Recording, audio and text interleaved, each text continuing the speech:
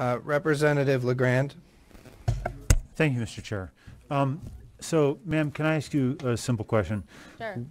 When did you convey your, this, your, the narrative? When did you, when did you communicate the, to sub- substantially the narrative that you've given us today?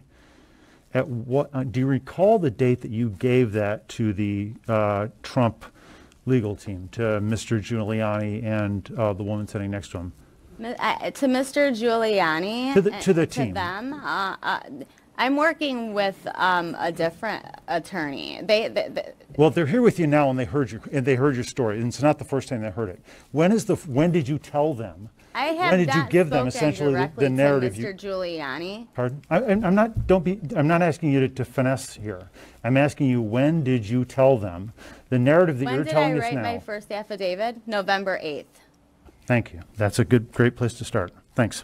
Right. All right. But does that answer your question? Because think it wasn't. does. It was If- sent to it's- if Lauren it's- McLaughlin. If the if the And I don't I know think if we're you- good here. Got Uh, it. We'll move on. So, thank you, Representative LaGrand. Just clarify for the record, I, I met her for the first time today and talked to her for the first time yesterday. But if you're saying the narrative, if you're saying the affidavit is essentially consistent with her testimony today, and that was submitted on November 8th, that's great. That's what I wanted to know. I can't hear you, I'm sorry.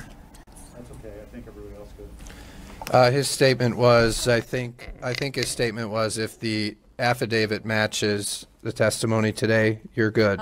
Is that what you said? Of course it matches it. Okay. All right. Uh, With that, I think we'll move on uh, to our next person, if that's all right.